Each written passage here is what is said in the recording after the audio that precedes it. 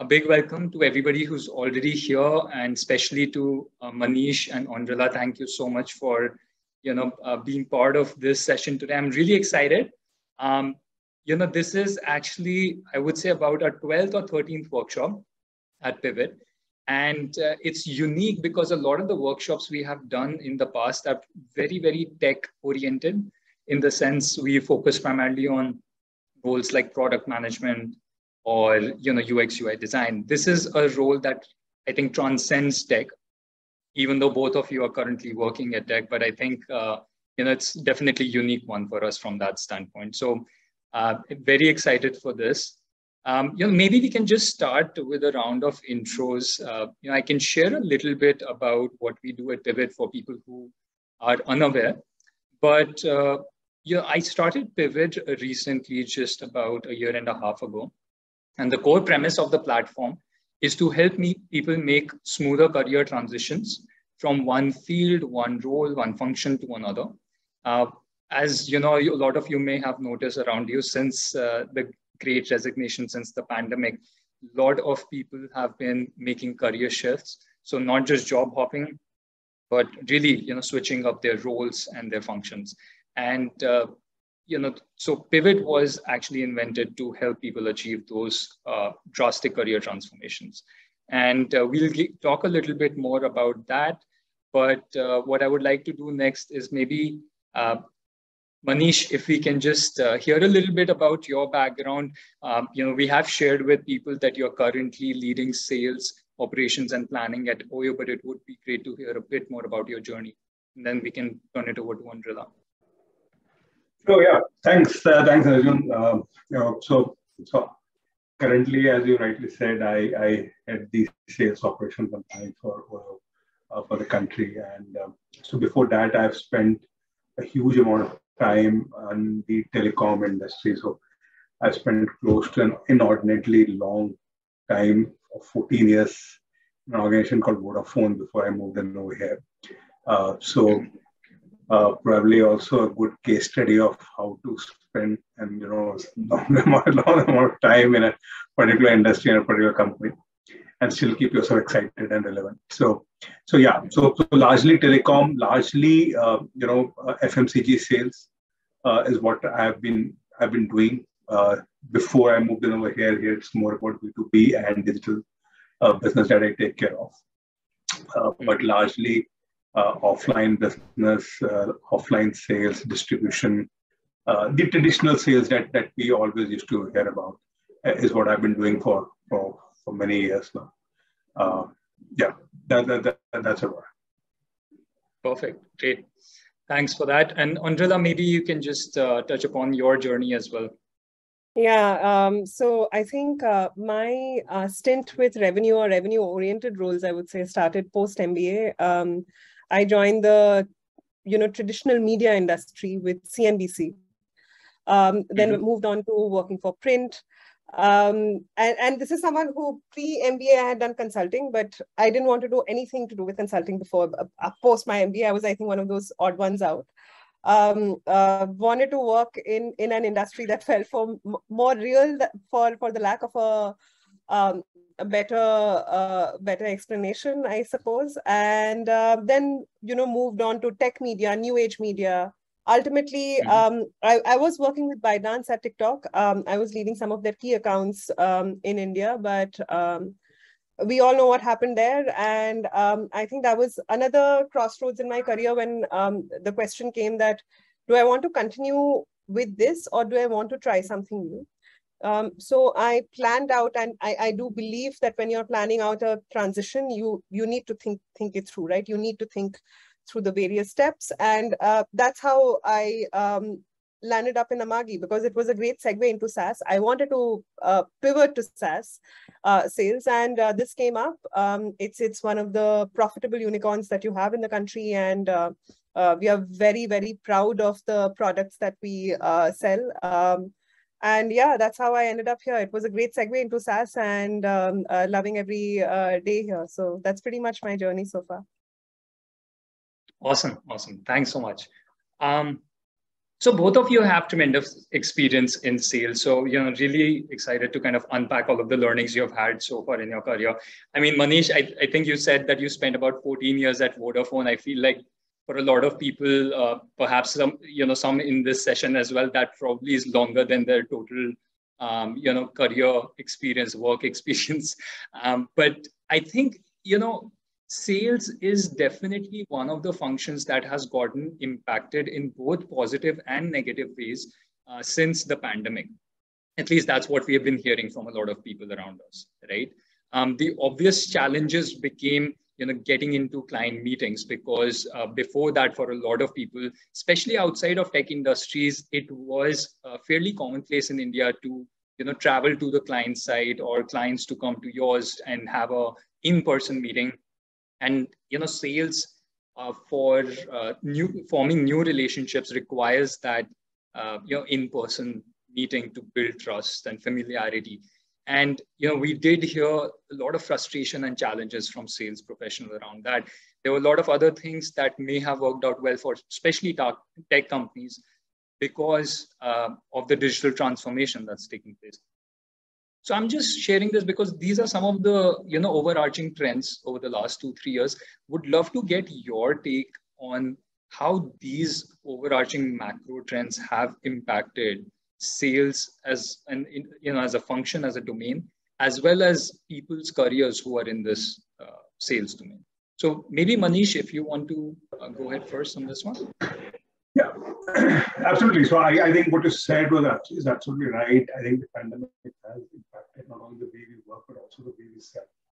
What also happened is that I think the pandemic has also brought in the Gen Z, uh, you know, right at the top of the of the buying uh, pyramid, and uh, mm-hmm. you know, and that's that's one generation which is which is which was brought up with a lot of apps and technology around them. So they feel uh, very, very attuned to technology and they don't feel out of place. Uh, what has also happened is that uh, in the last two years, I think uh, a lot of our our buying has become digital.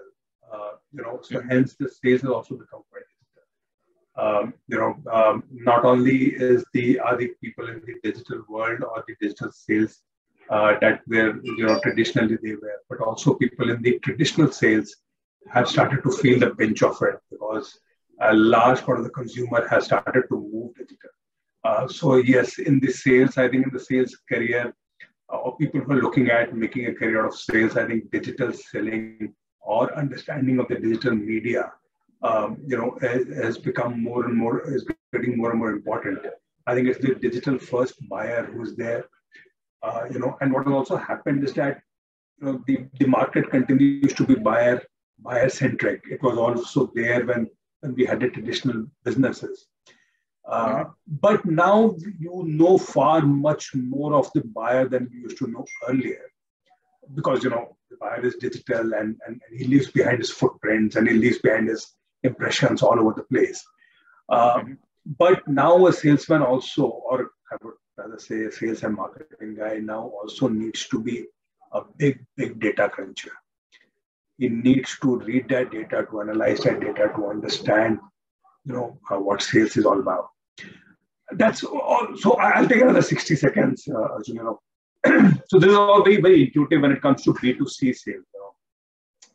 Guy going to a BigBasket buying from there, and the guy going to Amazon and buying from there. But what's also happened in the pandemic is that the B2B business also become really uh, B2B business, which is all about, you know, building relations, going, wining and dining, and, you know, showing your face to the customer. Sir, I was just out of the town, thought I'll pop and say hi to you. That has kind of you know, reduced a little. I see it picking up slightly at a behavioral level. I would not say at a large trend level, but at behavioral level, I see that coming back a little. But uh, even B2B sales has become and has started to become very digital. So uh, my my guess is that uh, you know in the last two to three years, I think um, large change that we're seeing is the sales going digital and uh, and uh, you know to prosper now going forward in sales, you need to have a digital back. Not a digital background, but at least you need to have knowledge, uh, you know, uh, learn something new, and make yourself relevant. Got it. Got it. So, I mean, a lot of focus on basically digitizing sales to kind of align with the, the new era of work, uh, you know, which is being done remotely, whether it's the actual work or even how you know meetings are set up between sales uh, professionals and buyers and basically in all different dimensions of business. I, I, um, primarily what i'm trying to say is that aligning your own skills to the new digital world i think that's that's that's, mm-hmm. that's very critical. One, one needs to have those skills now to survive and to prosper. Got it. Yeah, I think uh, that's probably the big, uh, you know, ten thousand pound elephant in the room. We had the digital revolution and how it has accelerated since the pandemic. So, Oindrilla, what are your thoughts uh, about this and perhaps any other key trends apart from this big uh, digital evolution? Um, I think the to attack the first part, I, and Manish did touch upon B2B sales. Majority of my experience has been in B2B sales, right? Institutional sales, where you build those long tail relationships, uh, where uh, you know you um, effectively uh, your your buyer is buying from a specific salesperson? Because he or she as as a buying leader places that trust in that person right? Which is why we say that in b2b sales especially it's a very relationship oriented um, um, oriented selling. That's that's literally what uh, decisions are based on because that's where when you're taking those organizational calls you want to be able to take those organizational calls not just on very hardcore rational thinking but also the intuitive feeling of trust that you place on the person. Uh, right? So mm-hmm. that is a key thing. Um, obviously in-person meetings dropping by like to Manish's point right? He he mentioned that some, a lot of us what we would do is uh, currently by the way i'm, I'm in bombay traveling for uh, mumbai traveling for uh, sales right? You you're not even looking at you know converting that sales in that particular meeting. But you do drop by and say that hey i'm in your area. I was thinking that i'll drop by for maybe a quick coffee have a quick chat with you no agenda. Let's just do this mm-hmm. right? Mm-hmm. did that take a complete backseat um, during the pandemic? Of course yes. At that around that time you know i had a very i, I remember when pandemic was becoming a rea- reality um, in March 2020, early, part of March 2020, I had a meeting for IPL. And my husband was like, no, you cannot go because we have a virus around the corner. And I, am being very candid here. We had an argument where he did not let me go. And I was like, there cannot be a world. The world will come to a complete stop if IPL doesn't happen in India and if mm-hmm. i cannot go for a meeting for ipl that's the biggest biggest media event that we have in in the country um yeah. but you know this is when this was also the time when a lot of sales leaders had to really really rethink their ways that yes this has happened this is the situation this is our reality now so how can mm-hmm. we make make good of this reality to say mm-hmm. that uh, you know are in-person meetings uh, the best way probably one of the best ways to build those relationships 100% yes. But are they the only way? Also no. Being a half glass full person i think what i had to what i personally did was take a step back and you know think about what is it that in in-person meetings that that makes it conducive for you to build that trust. There is a lot of aspect of body language. There is a lot of aspect of just talking about things that are not directed really, directly related to the sale that you're trying to make right? You're trying to build that relationship. A lot of us fail to realize that it, and it is a little unnatural when everyone is a rectangular box on zoom on your laptop to to remember remind yourself that okay there is a real human being on the other side of the of the screen. Let's focus on building that relationship. But yes if you take a step back you can always always do that even on zoom even on a phone call. For instance i remember during the second wave which was which was a very traumatic experience. Collectively it was a very traumatic experience for the country. We were um you know for uh, one of we we had one of these biggest client meetings that was coming up. And um, a lot of us were introducing ourselves. And at that point in time the the only thing I, I would say my biggest contribution to that call was that I was like, hey, let's take a step back here. Is everyone here okay? I hope you are fine. I hope everyone in your family is fine. For the mm-hmm. next 10 minutes, 10, 15 minutes, we did not speak about the, uh, the you know, work, any work-related conversation at all. We all spoke about how it has been collectively a very, very hard time because literally everyone in that call had probably lost some family or some friend or someone they knew, right?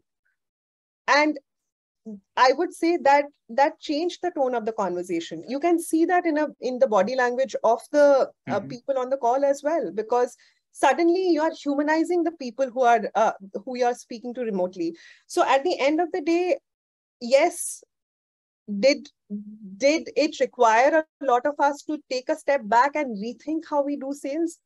Hundred percent yes. Is it mm-hmm. always good to have those means because energy is absolutely different, also 100 yes. Does it mean that you cannot do you you cannot uh, build those long lasting relationships with your prospective clients via a zoom or a phone call or those remote meetings i don't think so you you always can at the end of the day you have to be uh, i know there is a lot of uh, you know, we have this impression about salespeople that we have to be flamboyant, we have to be, um, you know, larger than life. I think at the end of the day, we need to be genuine people. We need to be genuine yeah. people who can build those real connections uh, with your clients, with those human beings, because they are also human beings. And it's on the basis of that trust that you can, that, that the sale happens, not the other way mm-hmm. around. Got it. Got it. That's a, a very interesting take on this, uh, because uh, you know, you talked about things which were very uh, unique and different from what Manish also touched upon. Um, and so it gives kind of the other lens of this whole, uh, you know, new era of work in which, yes, everybody is going through similar kind of experiences and it requires you to revisit the, you know, the more human uh, side of things, which is taking a step back, being more empathetic, making sure people are doing okay, whether it's your own team or your clients. So no, I think that's a great point and probably transcends again just sales and probably applies to anybody who is a team leader to make sure you know that uh, that people are doing work, but at the same time also um, are doing okay. You know, in terms of their health, in terms of their relationships, in terms of uh, being able to uh, meet the expectations that are uh, required from them. Uh, I think this is a good segue to the next part of our conversation, which uh, we have lined up here, which is uh, focused around skill sets, right? So, this is one of the key questions we get all the time from people in sales and people outside of sales who want to get into sales is um, you know it's a very demanding task right? You really have to be thick skinned you have to um, be okay with taking, taking rejections all the time and still moving ahead like nothing happened. Um, and you know, I think uh, in the first part of conversation, Manish, uh, you specifically touched upon uh, you know a couple of very hard skills that are going to be critical going forward, like you know being digital first, um, understanding Gen Z, um, and you know data crunching, data analytics, and those kind of things, which may not have been part of you know mainstream skill set of sales professionals to date. So uh, maybe we can really just kind of focus on this and talk about two or three skills um, uh, you know, that you feel are going to become more and more uh, critical in the coming times for sales. Um, Manish, again, maybe. Yeah. So let me let me kind of break this up into two two very distinct parts, and let's call them as functional and call them as behavioral. Uh, and let me talk about the behavioral skills because that's what I think uh, that's what the chain of conversation has been till now. Uh, you know, um, so, so behavioral skills, I think, I, I, think if I were to summarize the three very critical behavioral skills that are there at a very at a very macro level, I would call them as sincerity, I'll call them as ethics, and I'll call them as asking. Uh, three skills which I believe are, are absolutely uh, are required for any salesperson. when I say ethics, you know, uh, so sorry, when I say sincerity, you know, it is, you know, while we say, you know, flamboyant, while we say, you know, um, you know, um, uh, have to be very outgoing and uh, courageous of taking uh, of taking rejections.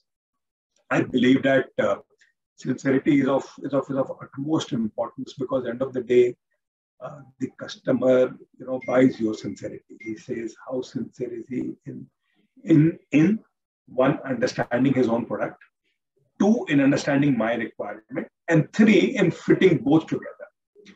Uh, so I believe, and and and you know, people who are trying to pivot into sales, people who are trying to move into sales, I would really urge you not to listen to these stories of you know sales guys being you know liars or sales guys you know lying through the teeth or sales guys being being you know um, uh, uh, very outgoing. And no not really. You know you don't have to be any of these um, you know in fact uh, uh, the more sincerity and the more ethics that you bring to the table i think that would really help you propel you really up.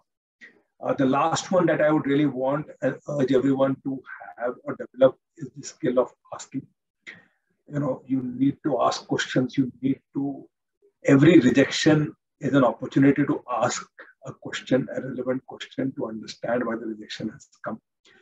Mm-hmm. Most of the times, uh, consumers reject you not because, not for the reason that they tell you that they're rejecting, but for reason which is underlying the reason that they say. So, so, so very broadly, I would say, you know, sincerity, ethics, and asking. That's at a functional level, at a, at a behavioral level. Sorry at a functional level, I would, you know, um, uh, I, as I was mentioning earlier, I would say data analysis, you know, social media understanding, SEO, you know, email marketing, mobile marketing. These are few things that one must. I would believe one thing, you know, one one piece of really huge advice that I can give is, you know, make your life an indefinite journey of indefinite learning. See, what has happened is that and sorry, Arjun, for giving a little bit of gap on this one, but I have a very strong belief in this that, you know, about two generations back, it was about a job. So people joined a job, they developed expertise over there, and they retired from there. A generation later, it was about skills. So, you know, then you had engineers and then you had you know, accountants. They were skilled, but they didn't stick to a particular company. They they stuck to an industry. They move between industries, and you know, mm-hmm. the, the, generation later, which is you know like kind of my generation, was that were neither very industry specific nor very very skill specific. You know, we shifted industries. You know, we were we were quite skill specific, but also in skills were developed. You know, we started from B to B to C, we moved to B to B, moved to social media marketing and stuff like that. I think the coming days is going to be all about learning and relearning. You know, the skills that you have today will become very relevant maybe 10 years down the line. So, so the faster you are on the learning curve, more you are learning, you know, about what's going to happen tomorrow will keep you far more relevant uh, in the work that you're doing. Uh, the more you believe that I am a one industry, one specific sector specialist, uh, the more, uh, the faster relevant, irrelevant that you will become.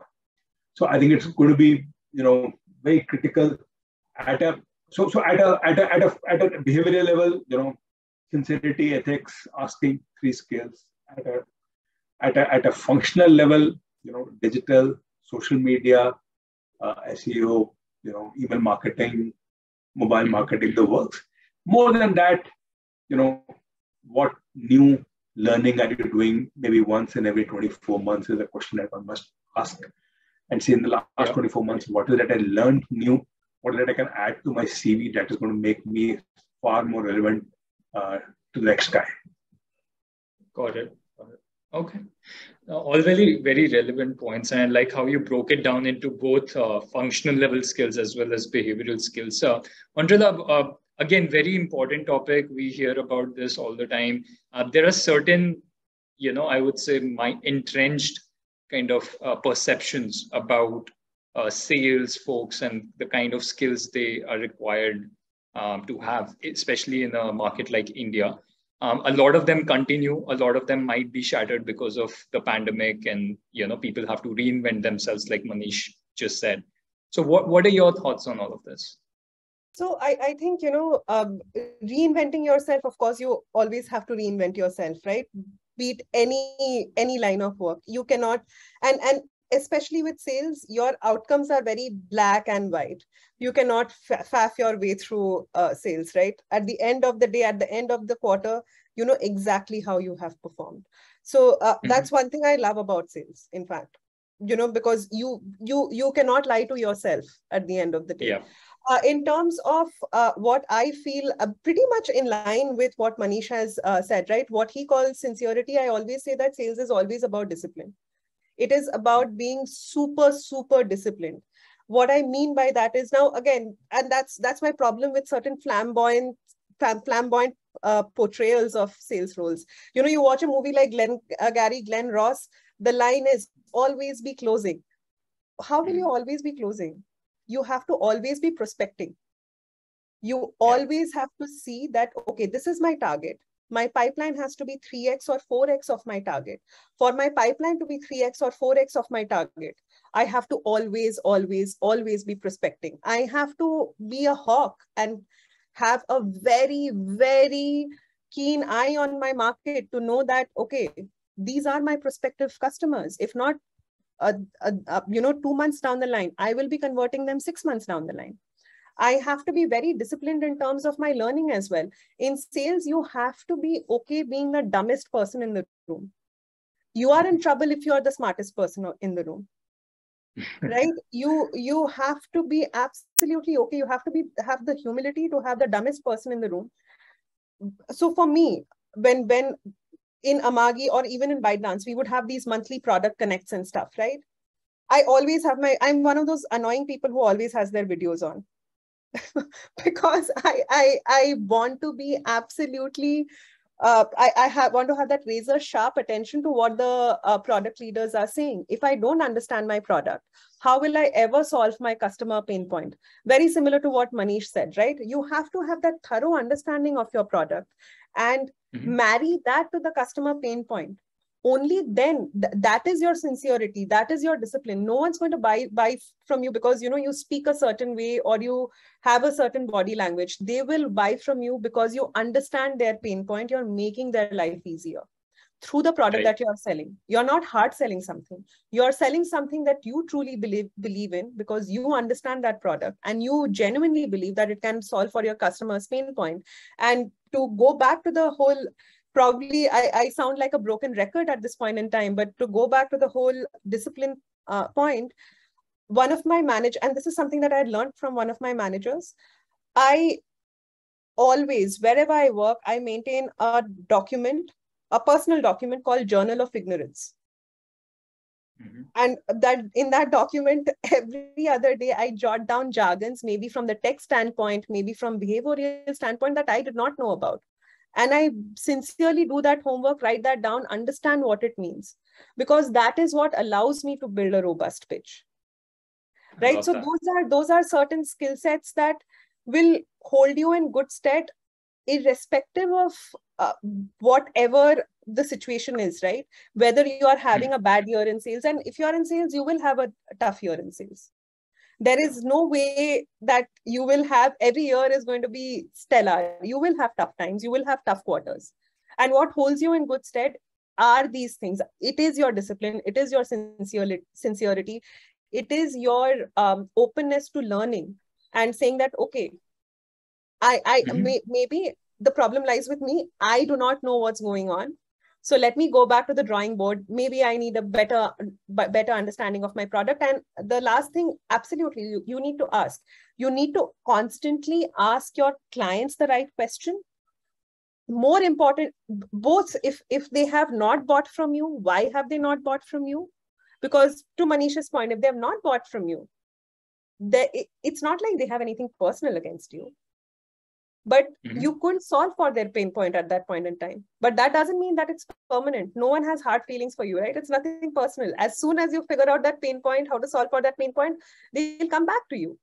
And mm-hmm. if they have bought from you what is it that worked for them? It's also very important to understand that why that sale worked because how else will you make it a repeatable model of success? So you need to keep asking the right kind of questions to your clients. You also need to keep asking the right kinds of questions internally. Sometimes to convert a big sale you need the right kind of support internally.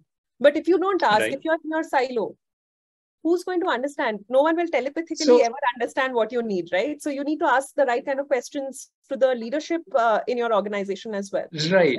Right. Just just one question there because it's a very good point that you just raised. And manish and i mean either of you can you know, provide your perspective on this.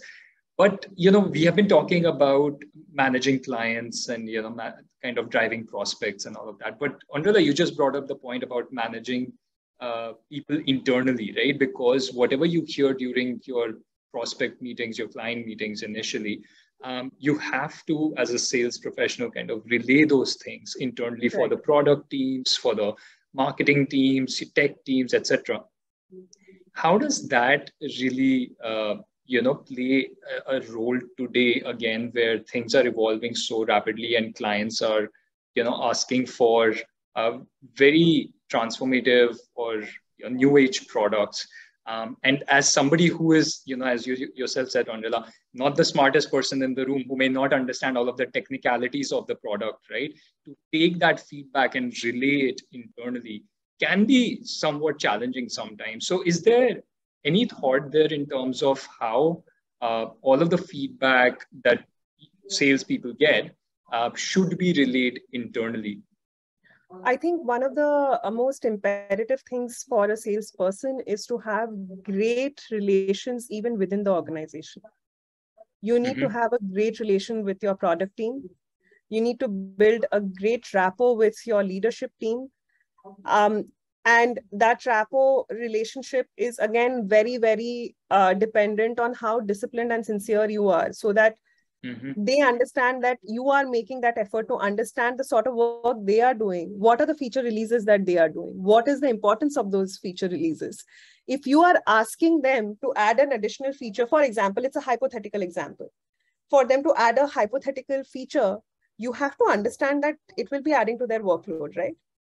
So to speak to them in their language wherein you say that yes i understand that this will add these many hours of say it, it will add x number of man hours. But potentially this is the amount of revenue that we can expect from this change. Mm. to go to to the onboarding team to your support teams and say that you know guys we need to buckle up.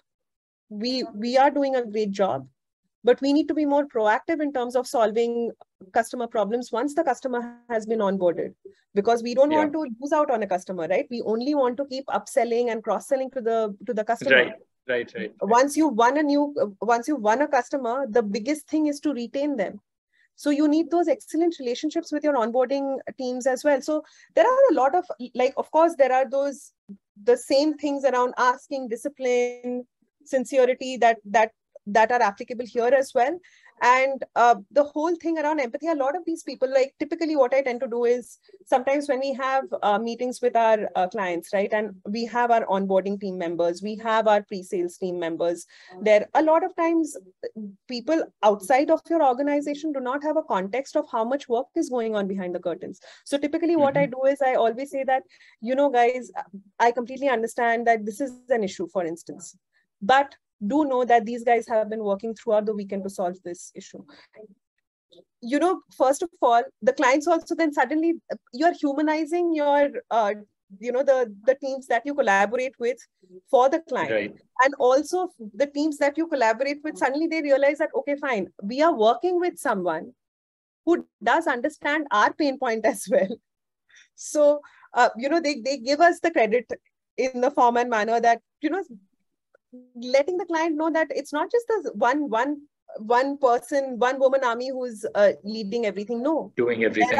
yeah no absolutely. behind that right? And absolutely. to give those people the name and the credit in the forum in a public forum that that that works you know by leaps and bounds the next yeah. time there is a client issue they will be super pro- proactive to solve that issue for you as opposed to someone who's not gone ahead and thanked them or empathize with them it it comes down to those soft and hard skills a combination of both no very true very true And and Manish, uh, same question to you. I mean, you have had such a long journey. Have you seen any sort of uh, you know evolution in how you have yourself managed your relationships and the way you work internally with other teams outside of sales?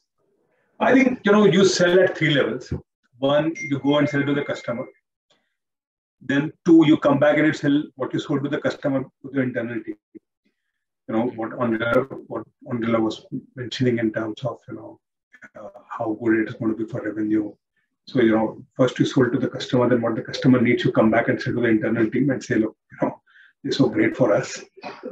And the third sales you do is when you understand how much you can deliver, you go back to the customer and say, look, this is what you asked, but actually what you're going to get is this, which is in fact better than what you were asking for.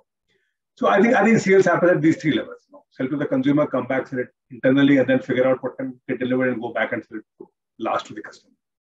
I, I think largely, largely you need to keep managing these three things all the time, mm-hmm. every step of the way. That is a, I think, really clear and fantastic way to put it. Basically, sales just does not happen at one touch point. There are multiple touch points across the whole journey with multiple stakeholders internally and externally um, know, that, that makes a lot of sense. Um, yeah, for example, you know, even if you're having a price negotiation, you come back and, you know, I come back and sell it to my finance team how, you know, how good it is going to be for us even if we drop the price. Right. You know, so, so, so you sell at every level. Right, right. Yeah, and I think it can get very tricky, right? Because uh, as a sales professional, I think number one most important things that they're incentivized based on is the goals, the you know, quarterly or annual goals that are set. Uh, I know there are certain organizations which have you know different take on it, uh, especially during the pandemic because you know pandemic created a lot of uh, uh macro challenges. But at the same time, you know when a sales professional is being pulled by this you know quarterly goal hanging over his or her head. Um, and then also trying to manage you know multiple stakeholders where you know you might be trying to fill your sales quota for the for the quarter but you don't want to drop the price too much because that's what your product team or your tech team is telling you. Um, so there can be a lot of these kind of tricky situations i imagine. Uh, any, any way to you know manage these difficult situations where you know one side is telling one thing the other side is telling something else you know, I think you need to be very sure of, you know, which side of the bed you want to sleep on. You know, uh, you, know you have to be very sure of, of, of whose side you are playing. You know, uh, you know, being customer centric doesn't mean that you sell your organization to, to, to, to you know, give the product free to the consumer. Uh, you know, yeah. uh, being uh, you know being profitable doesn't mean that you that you suck the blood out of everyone that you interact with. Uh, so you have to balance it somewhere. But I think very clearly one has to decide which side of the bed you want to sleep on. Um, largely, at times, uh, and it happens with everyone, all of us, you know, we let go of yeah. sales because ultimately you realize that it's not good for the organization. And finally, the brass tack is that you know you work for the organization that you work for, and their interest is paramount because once you fulfill that interest is only when will then will you be able to get products that, that are going to fulfill the, the consumer interest right? No great product came out of loss making organizations you know, until it was a you know public sector undertaking. But you know otherwise you know, no, no great product comes from a loss making organization. No, absolutely. So, so, as long as you make clear and, and as Andre was mentioning earlier you win some you lose some yeah yeah. At times you lose more than you win, which is fine. It, it, it eventually Arjun evens out. It will eventually even out. Right. I mean, you stay long enough to know that there are multiple different situations and there are multiple different ways to deal with those situations. Okay, I think just uh, you know, kind of uh, going to the next topic, and we we have a couple of questions coming in here, but one thing that I do want to discuss, given your backgrounds in tech and uh, especially yours in, in a SaaS, um, you know, firm. I mean, SaaS has been the biggest breakout story of the last two years, three years at least since uh, the pandemic, right? I think um, I read a recent Motilal Oswal report where it said uh, India's SaaS industry is expected to grow to about $50 billion uh, by the end of this decade, right? Uh, which is huge. Um, and there are a lot of great opportunities for sales folks within SaaS, right? So, uh, what are some of the key things that uh, you know new professional in sales can do to break into tech or break into SaaS? Um, so again, uh, by the way, the things that I keep mentioning, those hold true even before you start prepping for these roles, right? Mm-hmm. You really need to, as a layman as well, like when I was interviewing for Amagi, or earlier when I was interviewing for ByteDance or CR7, the amount of homework I had done for each of these roles, I, I would say that I don't know whether it was the best or not, but at least that was the best that I could have done. Given mm-hmm. that I had another job, given that I have certain uh, roles and responsibilities in my personal life as well, given the amount of time that I had, I think I had done the best job I could have done with that time, right? And there is no, I, I don't think there is any substitute to that kind of hard work. You have to, if you want to break into a SaaS role or a tech role, you have to do that homework to what manish was saying as well right if you are breaking into you want to break into a role where you want to do say e-commerce sales or you want to do uh, sales in that sort of in, uh, industry where you have a daily run rate you have to have an mm-hmm. understanding of seo you have to have an understanding of the entire digital marketing landscape Otherwise, you can't do that because your goals are very, very closely tied to performance marketing uh, goals, right? So if you don't mm-hmm. understand performance marketing, how will you ever hit your daily run rate? Similarly, in, in this kind of a SaaS role, you really need to understand what are the products, what are the product lines. For instance, I, I literally had to break it down that there are broadly three product lines that Amagi has. Broadly, mm-hmm. within that, this is the workflow of the first product line. This is the workflow of the second product line. This is the workflow of the third product line. I was tested on those skills. Mm-hmm. I was actually asked to present in my interviews that how would you present this workflow? Was I 100% right? No. But did I come across as someone who had put in the hard work to understand as a layman? Did I do well enough to put in that hard work and exhibit that yeah, I, I am interested enough to learn the brass tacks of this business. It literally comes down to that. When I was shifting from Hindustan Times to Saavn, for instance, um, again, it's it in that sense that was also a shift because I was working for CNBC. I had been working for Hindustan Times, very different worlds, from hmm. a landscape to you know where you are selling digital audio ads. So literally what I had done was I I I was like, if I get into Saavn, this is what my uh, pipeline will look like.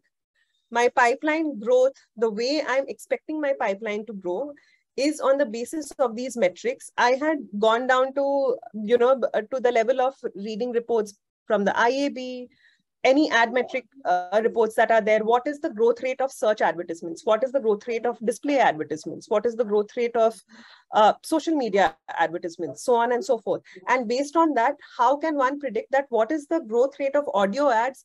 How will that reflect in india which probably follows which which lags behind the us maybe by 3 or 4 years in most of these trends?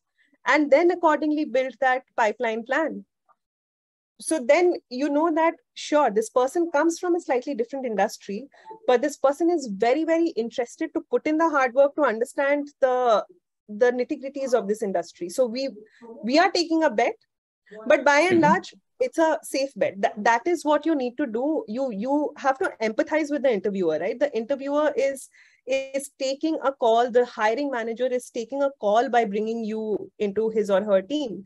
And for that to happen you need to give that person the confidence that yes i am going to put in uh, that I, I am going to approach this in a very disciplined way. I'm going to continuously learn and ensure that the fact that i come from a different industry is not going to come into the way of me doing my job. Literally that's what it boils down to. Got it.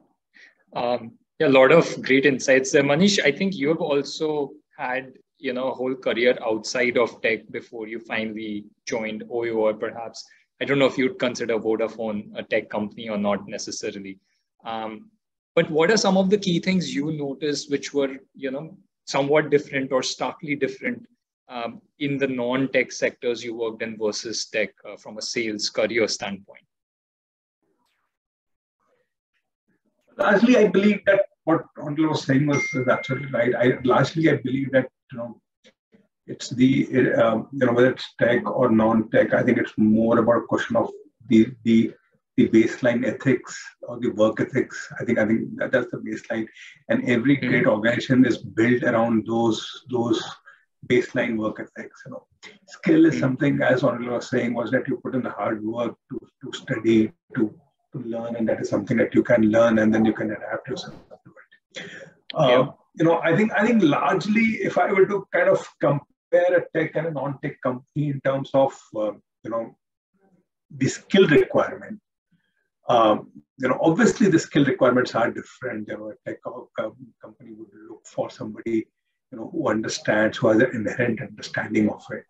Uh, would look for someone you know who has an aptitude for it uh, you know, yeah. all said and done, not not everyone will have an aptitude for it. So, so obviously, you know, you would look for those things.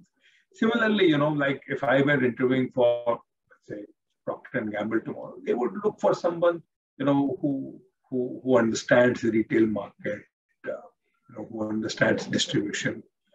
Uh, during this conversation, I would want to say one thing, you know, put it on record as uh, uh while the while the future is moving towards digital and uh, digital um, you know um, uh, skills are going to become great in demand that would necessarily not mean that the traditional sales is going to die down very soon.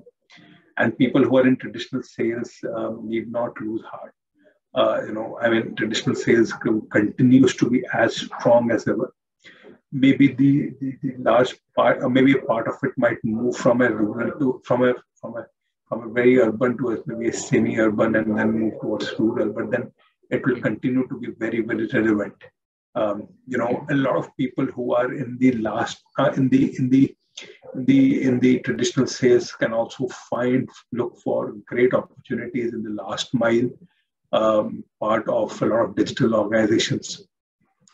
Mm-hmm. At the end of the day, you know till the time till the time you find a way of digitally delivering goods you know the human interface and and and the last mile specialization will always remain uh, you know so, yeah. so so so so that is also a skill that that can come to great use uh, you know even even even in a very tech driven company uh, but largely yeah, I, I believe that you know as long as you have an aptitude for that for that role and as long as you know you have the hard work of learning. I, I really, I really, you know, uh, uh, completely agree with what you know Andala was saying in terms of preparation.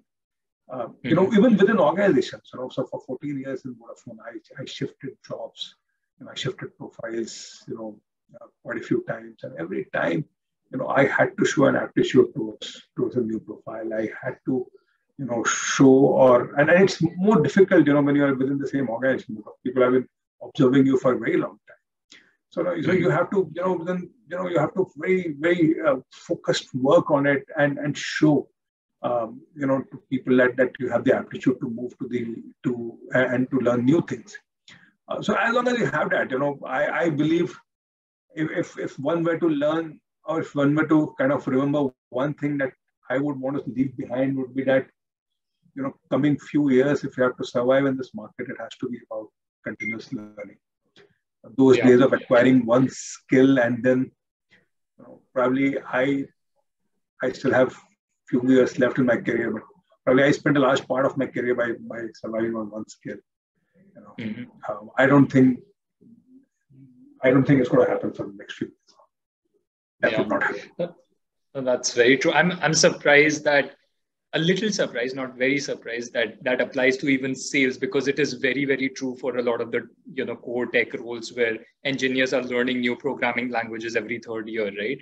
But I think from a sales standpoint, also for you know uh, Manish, somebody like you to say that, I think it holds a lot of weight. Um, I just I think uh, you know we have only a few minutes left, so I want to ask two uh, basic but very important questions that we get, and we have it here also from somebody.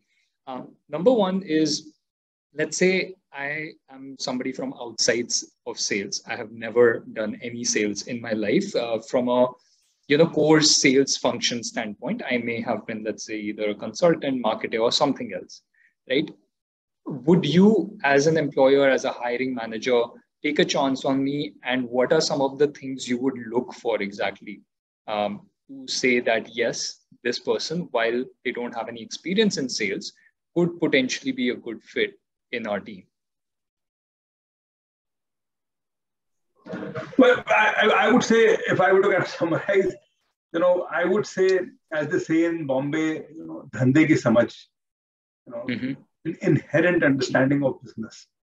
What do you look for when you look for a guy in sales? Look for a guy in sales is somebody who has an inherent understanding of business. You understand business instinctively you know, intuitively, you have an understanding of business. And again, I'm saying it is not about product. You might not know my product. You might not know my technology.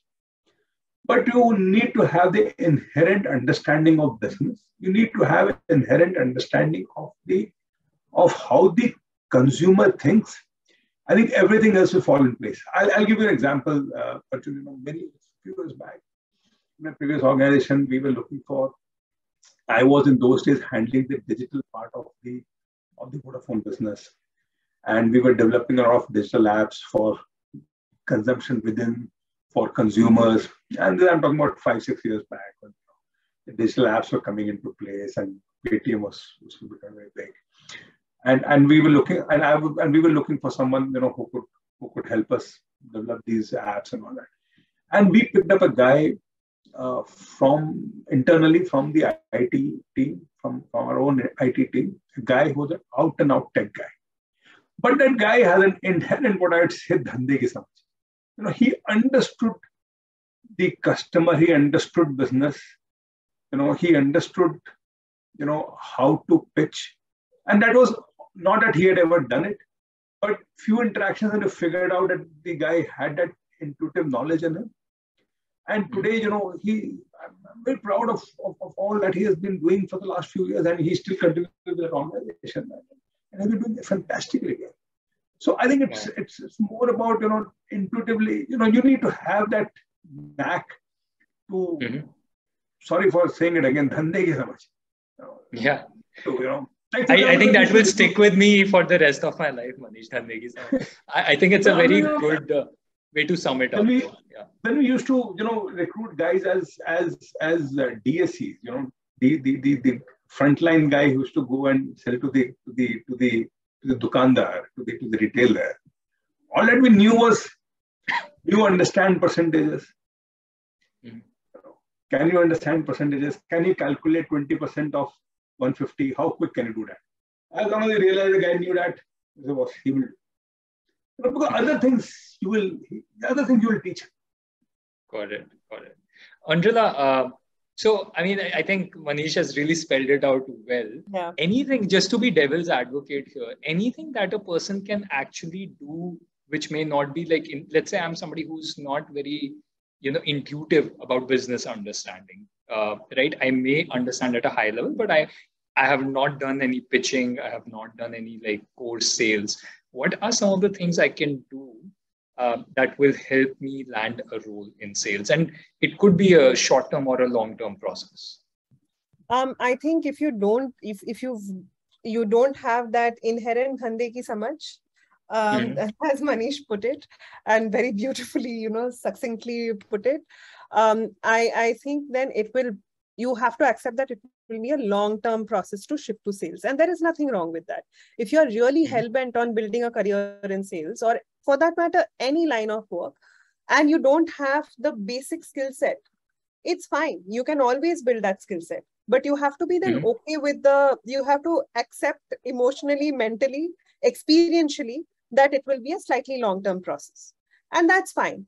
In that during that intervening period what you need to do is work towards um, developing those business skills, right? You need to understand now, say I'm someone who wants to build a career in uh, SaaS sales, for instance. Fair enough. What is what are the movers and shakers of the business?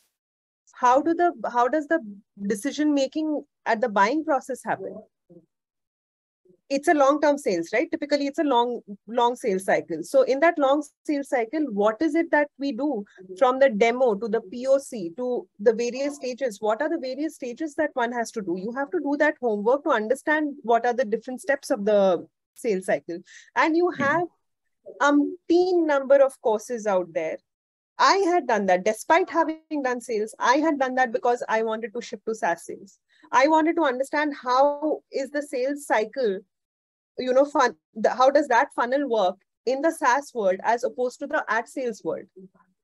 Mm-hmm. so you'll also have to do that. There are but the good thing is there are enough courses out there. You don't even need to do a full blown mba if you want to do it nothing like it. If you have the time if you have the resources go ahead do that. If you don't have those resources there are enough number of short courses short form content that are very instructional for you to understand what it is the second thing mm-hmm. is develop the soft skill of being able to read the room. You need to be able to read the room. Yeah.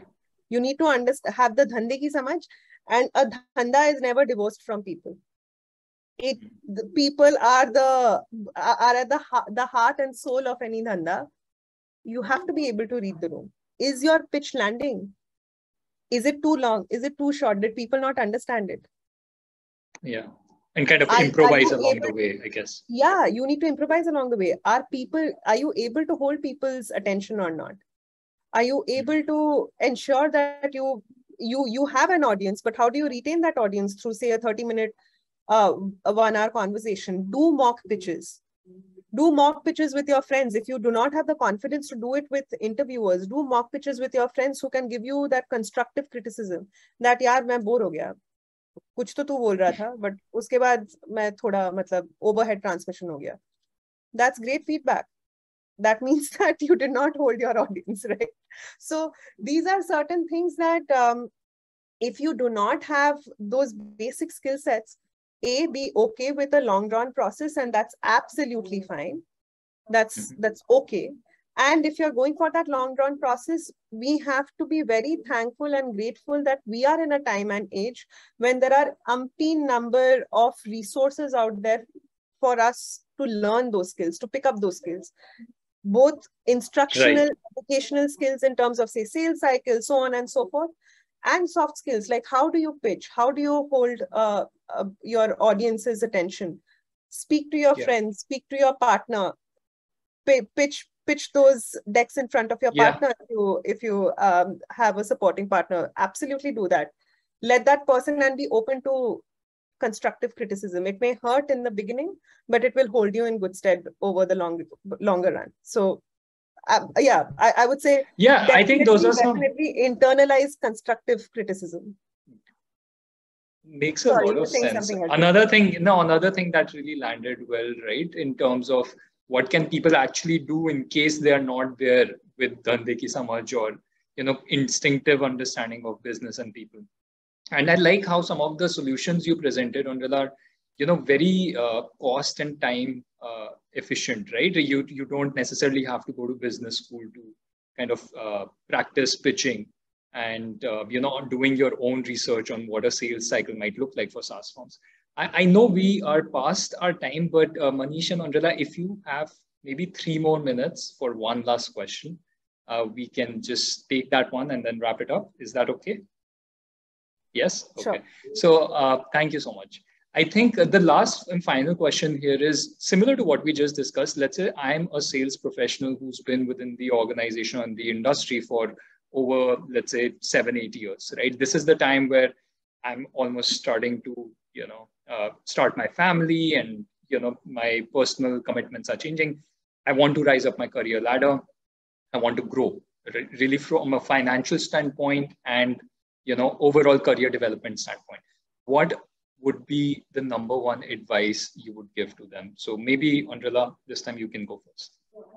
Um, i think um, first of all um, if this is something that you know you want to start a family you have certain personal commitments you have certain liabilities uh, that that you know show up. That that's something that happened in the pandemic. People who did not you know before the pandemic did not have liabilities certain suddenly have certain liabilities in terms of taking care of their family and stuff because mishaps have happened.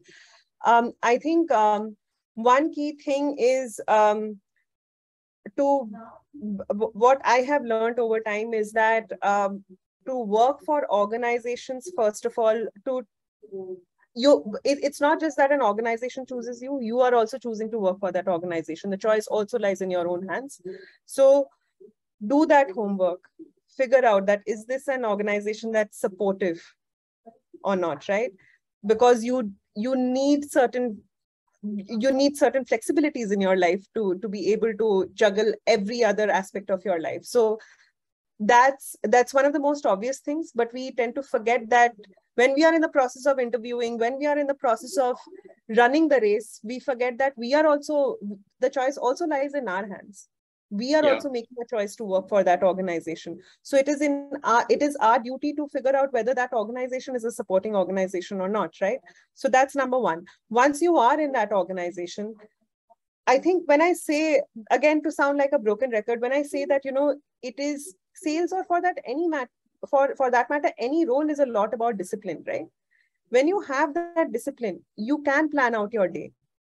One of the things another thing that i had learned from one of my previous managers was that don't get hell-bent on a to-do list. Your task list will never end.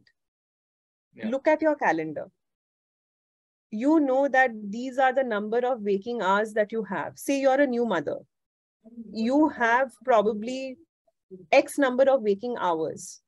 Within that X number of waking hours, a certain percentage you dedicate to your personal life, a certain percentage you dedicate to your work life. Break the percentage of work life that you have dedicated for yourself into specific tasks that key tasks, important tasks that you can do in that day.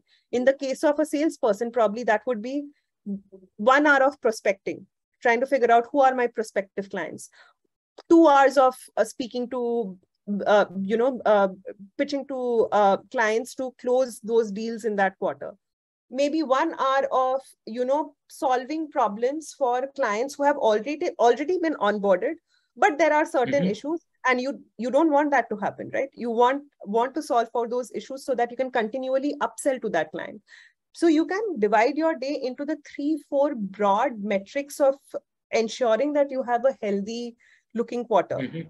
Just divide your calendar. Got You'll it. be surprised that how much you can get done with that sort of an approach rather than being in a frenzied manner. You're you may have counterparts who are working probably 3x the number of hours, but probably you are getting more done in the day because right. you are doing it in a in an organized way. You have your calendar. Instead of being obsessed with to-do lists, instead of being obsessed with task lists, be obsessed with your calendar.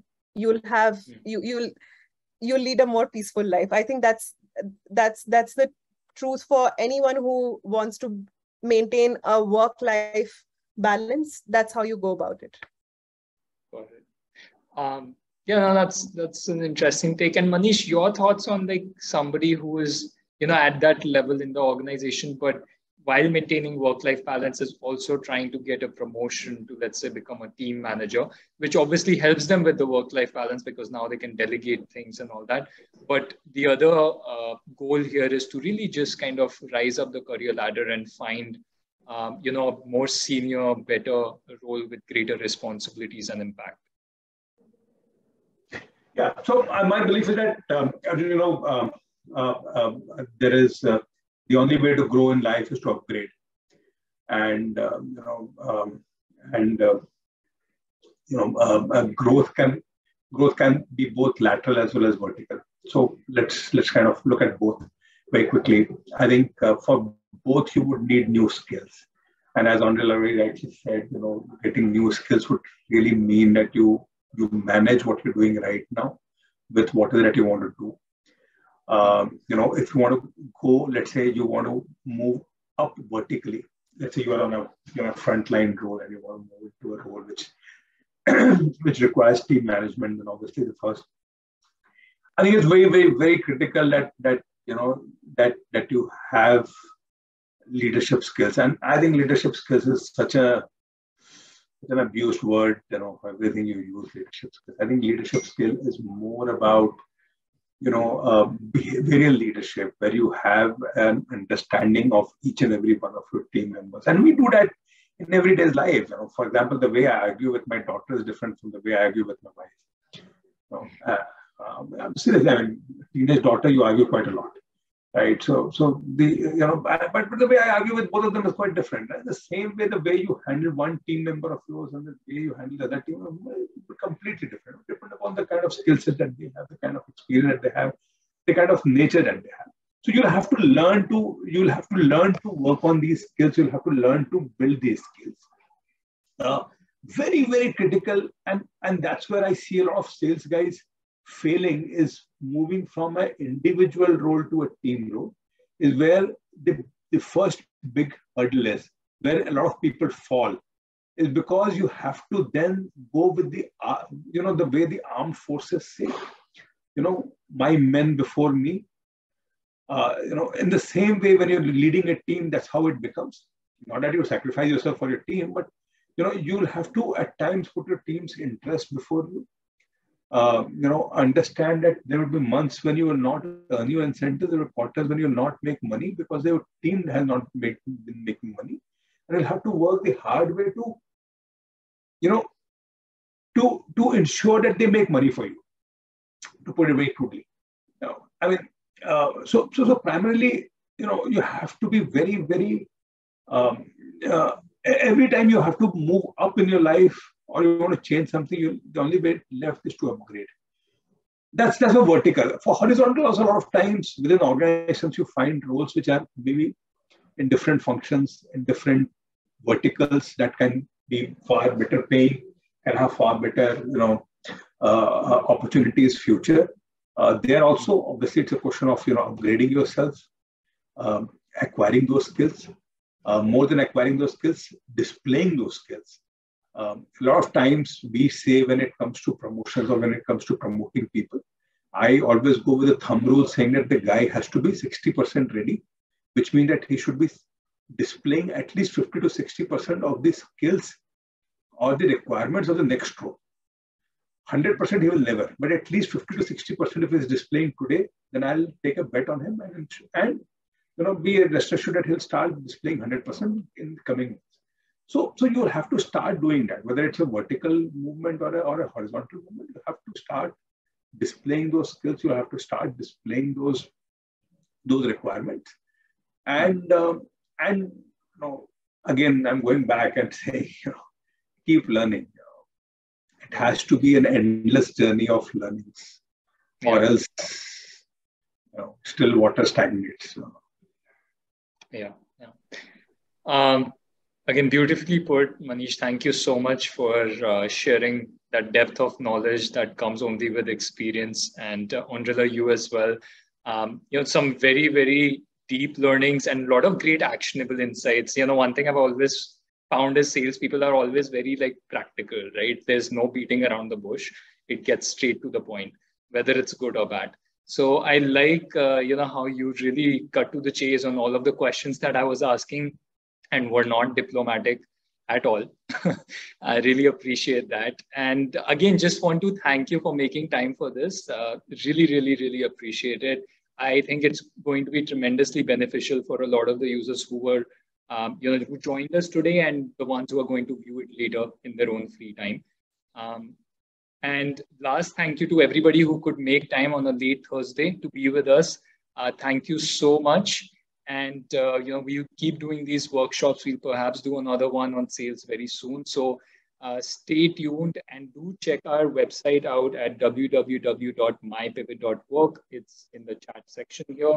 In case you need any help with you're achieving your career goals or transitioning into sales, you can come and speak with people like Oindrilla, people like Manish to get very personalized one-on-one guidance on how you can actually reach your ultimate career goals. So with that, I just want to wrap this up and thanks, uh, thank everyone once again.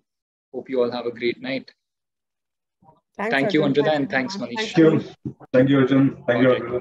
Thank you. Take care. Bye. Take care, everyone. Bye.